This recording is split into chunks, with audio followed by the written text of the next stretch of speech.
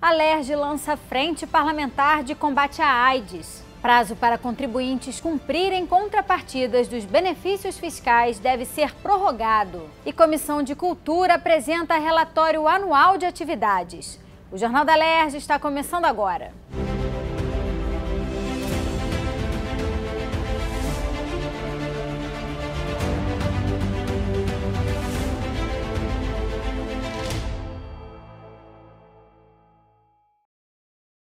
Boa noite.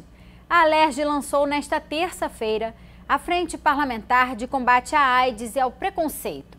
O objetivo é discutir essa situação de vulnerabilidade das pessoas com HIV no estado, que se agravou com a pandemia.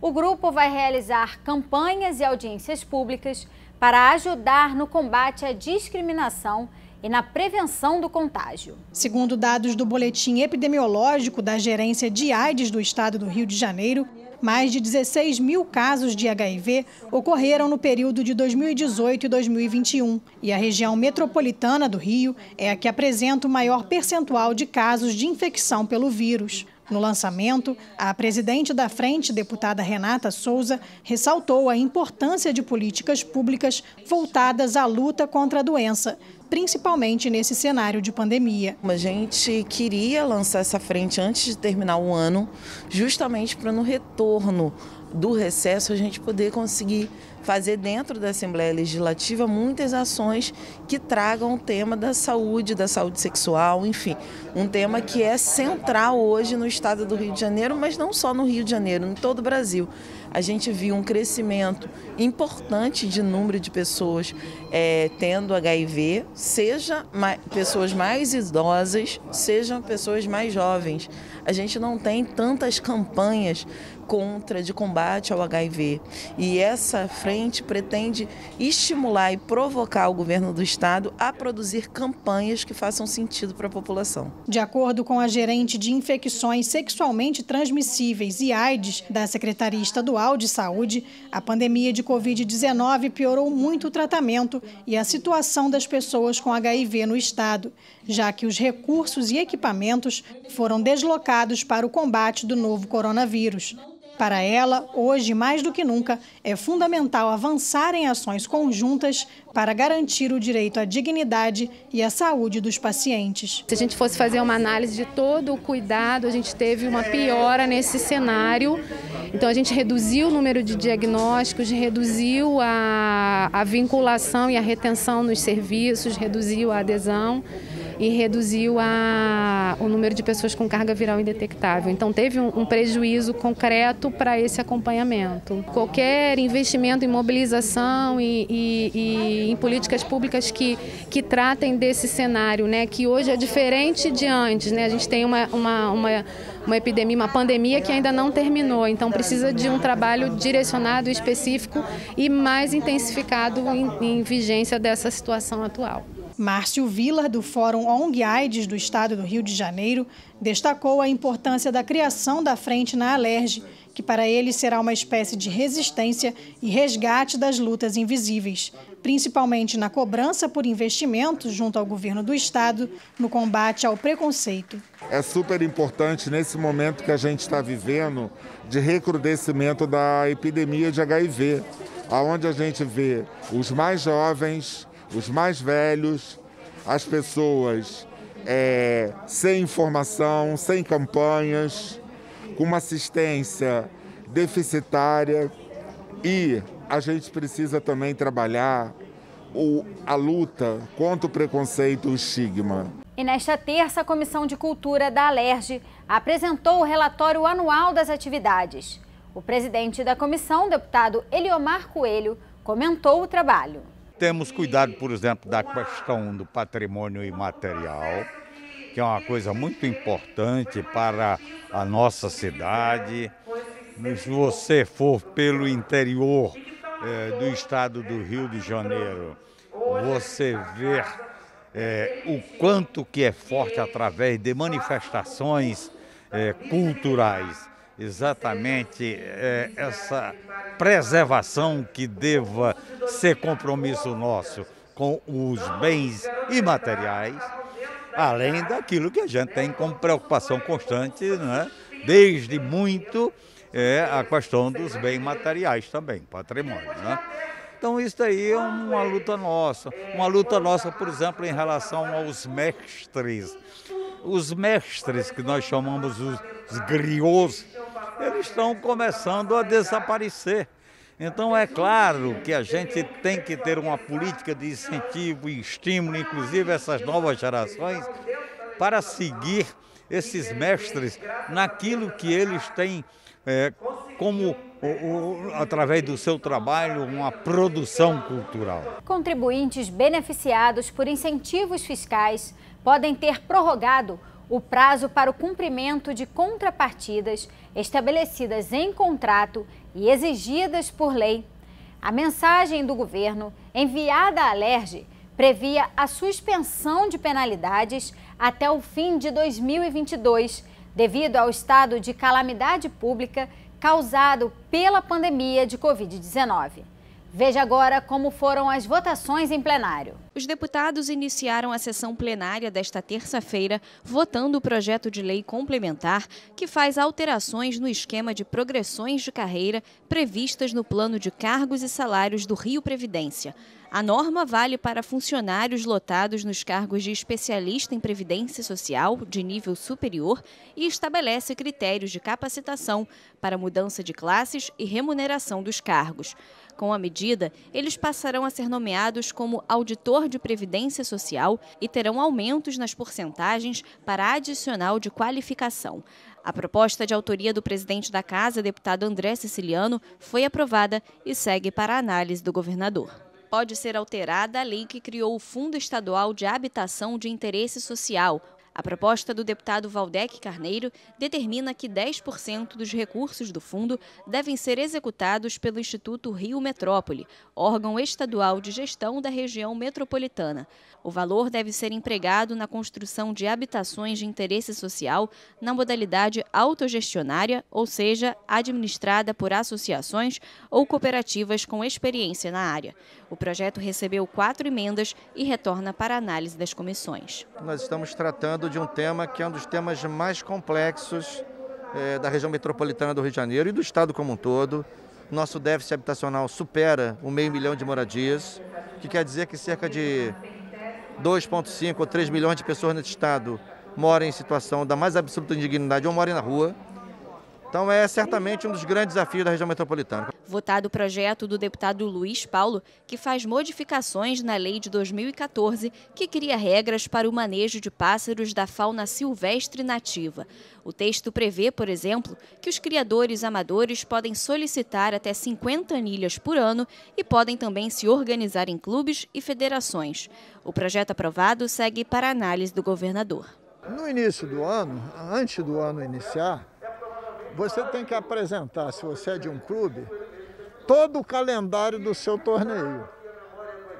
Ao longo do ano todo. Quantos torneios vai fazer, que dia, que horário, que tipo de roda, de que passo, se é de trinca-ferro, se é de coleiro, se é de sabiá, se é de, de trinca-ferro, enfim. E o INEA tem que ter um prazo para aprovar os torneios. Senão os torneios. E o INEA não tem cumprido esse prazo. E foi aprovado o relatório final da CPI que investigou incêndios no Rio de Janeiro. O documento de cerca de 500 páginas pede ao Ministério Público o indiciamento de 19 pessoas envolvidas nos incêndios do Ninho do Urubu, do Hospital Badim e da Usqueria 4x4, todos em 2019. O projeto segue agora para promulgação. E os deputados também votaram o relatório final da Comissão Parlamentar de Inquérito que investigou operações de crédito realizadas pelo Rio Previdência. O documento aponta um prejuízo de mais de 17 bilhões de reais entre 2005 e 2015, causado pela ausência de repasses previstos por lei.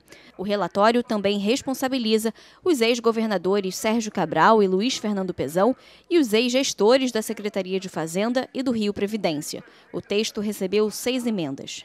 A Previdência do Estado do Rio de Janeiro ela consome mais de 30% do nosso, do nosso orçamento anual. É, buscar o equilíbrio dela é fundamental para ter o equilíbrio das contas públicas do Estado. E a gente tem visto que é, o Rio Previdência tem sido sempre objeto é, de mudanças nas aposentadorias, de reformas, alegando desequilíbrios que ele enfrenta. Mas é importante dizer que só esse ano são mais de 4 bilhões de reais que o Rio Previdência está é, deixando de receber, fruto de má gestão e fruto de um acordo internacional extremamente lesivo para os cofres públicos. Não há condições de se ter equilíbrio no Rio Previdência sem se rever é, essa operação Delaware, que foi essa operação internacional que a Rio Previdência fez, e sem enfrentar é, os desmandos que induziram o Rio Previdência a essa situação de desequilíbrio. Contribuintes que usufruem de incentivos fiscais podem ter prorrogado o prazo para o cumprimento de contrapartidas estabelecidas em contrato e exigidas por lei. O governo encaminhou uma mensagem à Alerj suspendendo as penalidades para quem não cumprir essas contrapartidas até o fim de 2022. Em reunião de líderes, os deputados definiram que 30 de junho de 2022 será a data limite para essa suspensão, mas que o governo deve enviar 15 dias antes para a LERJ um relatório com dados e informações explicando a necessidade de manter o benefício. O texto com as alterações foi aprovado na primeira sessão extraordinária e segue para a análise do governador. Assim, é muito importante que a gente estabeleça a importância de que haja uma fiscalização efetiva sobre os benefícios fiscais. E em outra, em outra ponta, a necessidade de que hajam os benefícios fiscais do jeito certo para incentivar a economia e principalmente a questão da, da potência da industrialização num tempo em que a pandemia acabou com, com, com, a área da indústria, ou prejudicou muito a área do mercado de trabalho. Então, sem que haja de fato uma melhor avaliação, dar de novo uma, uma ampliação dessa, da calamidade pública para estabelecer uh, o benefício sem um maior controle. Até dezembro, a casa entendeu que não. Era possível dar até o meio do ano e aí estabelecer um compromisso de que seja enviado um relatório. E aí sim, com um relatório mais conciso, estabelecer se há necessidade ou não de ampliar a calamidade por mais seis meses. Outra mensagem do governo propõe ampliar até dezembro de 2032 os benefícios fiscais concedidos às empresas siderúrgicas do Estado. A proposta modifica uma lei de 2005 que enquadrava as empresas no programa de construção e exploração do complexo siderúrgico do Estado. Com a alteração, o Estado garante isonomia fiscal às siderúrgicas após legislação federal que já concedeu esse prazo para outras companhias. O texto recebeu seis emendas e retorna para as comissões. Na segunda sessão extraordinária, foi analisado o projeto do deputado André Siciliano, que altera a lei que criou as carreiras de especialista em políticas públicas e gestão governamental, planejamento e orçamento, a carreira de especialista em finanças públicas e a carreira de especialista em gestão de saúde. O texto modifica os percentuais da gratificação de desempenho de atividade, além de conceder aumento nas gratificações por qualificação e capacitação. O projeto aprovado segue para a análise do governador. E os deputados também votaram o projeto do deputado Márcio Pacheco, que estabelece um regime diferenciado de tributação para a indústria naval. O benefício será aplicado em operações de importação de máquinas, equipamentos e peças. O ICMS diferenciado posterga o recolhimento do imposto para tributação no destino em que forem exploradas as atividades econômicas. O autor da proposta, deputado Márcio Pacheco, destaca que a medida vai ajudar ajudar a atrair investimentos econômicos e industriais para o estado do Rio, gerando emprego e renda. Os parlamentares aprovaram o substitutivo da CCJ e o projeto segue para a análise do governador. O Estado do Rio poderá ter um programa de incentivo ao protagonismo das mulheres na ciência. O projeto da deputada Tiaju tem o objetivo de promover a valorização de mulheres cientistas, combater a desigualdade de gênero e estimular meninas em formação a investirem na carreira científica, além de defender a ampliação de bolsas de acesso à pesquisa para as mulheres. O texto foi aprovado e volta para mais uma votação em plenário. A, a ideia desse projeto, da criação desse programa, é exatamente a gente combater o machismo institucional que, que se criou dentro de várias profissões, de vários ramos de, de, de negócio, de comércio, de profissões, e um deles é a ciência. Né? Então a gente visa com esse projeto aí poder estimular, incentivar é, cada vez mais meninas, mulheres e adolescentes a entrar para a ciência também. Nós temos aí, é, à frente da nossa querida Fiocruz, uma mulher. Nós tive, é, tivemos aí em destaque no combate ao Covid diversas mulheres comandando estados e cientistas também que tiveram o protagonismo na descoberta de, de, de, de genes significativos aí no combate da doença. Na terceira sessão extraordinária, foi discutido o projeto que autoriza o governo a criar um complexo pesqueiro no estado do Rio. O objetivo da proposta é atender às necessidades das atividades de movimentação e armazenagem de pescado e de mercadorias relacionadas à pesca. O complexo terá instalações de apoio à atividade pesqueira, como ancoradouros, docas, cais e armazéns com frigoríficos. Ainda serão realizadas atividades como descarga, transporte, manuseio, classificação e pesagem de pescado. O projeto do deputado Ronaldo Anchieta precisa passar por mais uma votação. Em 92 foi extinto o terminal pesqueiro da Praça 15. E aí o setor, na verdade, ficou abandonado, sem ter apoio público, sem ter um olhar diferenciado do, do governo do estado. E aí a gente apresentou essa proposta que ela tem, na verdade, como objetivo de trazer o setor pesqueiro aonde ele sempre foi.